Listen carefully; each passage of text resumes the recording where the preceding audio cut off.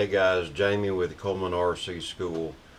Uh, got Bo over here working on the uh, Mystery 250 quad, mini quad.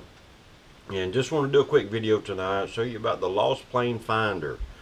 A little $3 item that'll uh, help you find your mini or your 450 or 500 millimeter size quad or even a, a, a Phantom if that's what you own. Uh, and I know everyone has that fear of what if it flies away or if I lose it. Well, this little $3 item will help you find your aircraft. Very inexpensive, very easy to install. And uh, we're going to show you that tonight. Would you hurry up and get that quad built? These people want to see what it looks like. God, just hard to find good help nowadays. But he's my brother. What am I going to do? I'm stuck with him. So anyway, uh, stay tuned. We're going to show you the Lost Plane Finder. All it is is a piezo gyro uh, with some circuitry that senses an interruption or a loss of signal. so uh, real quickly we'll plug it up. This thing is like two and a half, three bucks. Uh, works really good.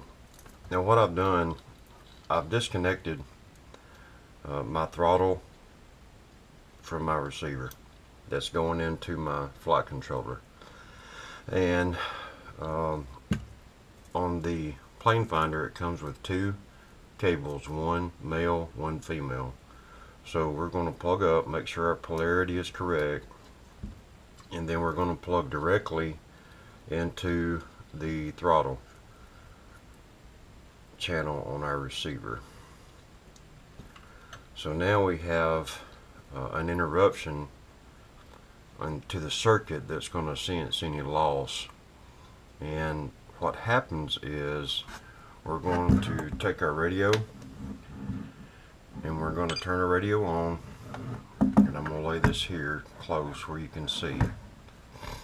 And I'm going to plug up my mini.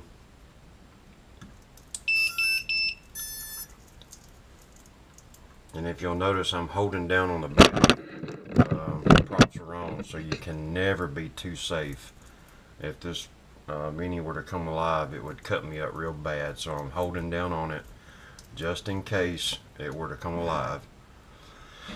Um, so now everything is locked on and bound. And I'm going to turn the radio off. And, you know, sometimes things happen. Imagine you're you're flying and you lose your aircraft.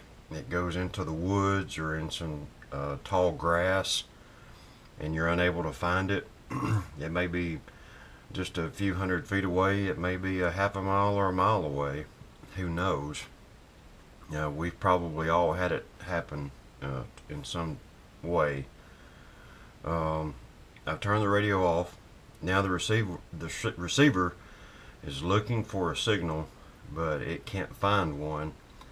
So now the device, uh, the uh, lost plane uh, finder, it's going to begin to emit a signal and it's very loud. It, will be going off here in just a second.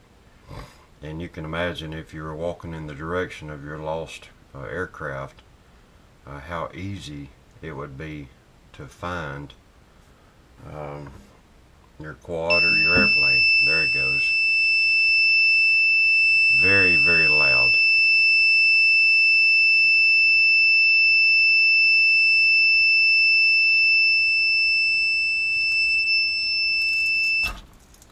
I went ahead and disconnected the battery but uh, I don't know if that was as loud to you as it was to me sitting here but uh, a really inexpensive item to purchase that I recommend anybody put on all of their aircraft.